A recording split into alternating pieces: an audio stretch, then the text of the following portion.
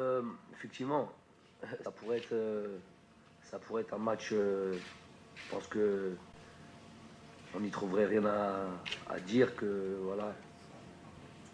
Ça aurait pu être une finale de la compétition elle-même, du tournoi elle-même, lui-même. Un peu comme l'avait été en 2019 euh, notre rencontre en phase de groupe avec le Sénégal, qui avait d'ailleurs terminé euh, comme la finale. Donc euh, voilà, deux grosses, nations du football africain qui se rencontrent. Voilà, espérons que ce sera un beau match.